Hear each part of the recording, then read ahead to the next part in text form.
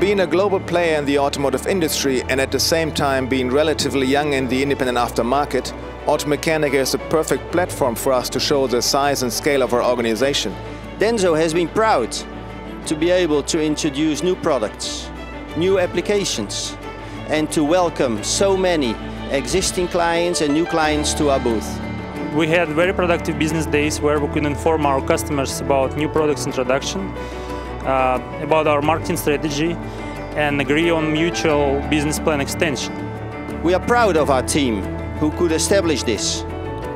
After many years of activities in product development, customer penetration and infrastructure establishment, we can clearly see that we are entering a new era for Denso in the independent aftermarket in Europe. Backed up by high quality products and a large variety and wide range of, uh, of additional products, which is going to increase on a consistent basis, we are emphasizing the support of our customers to uh, sustain mutual growth.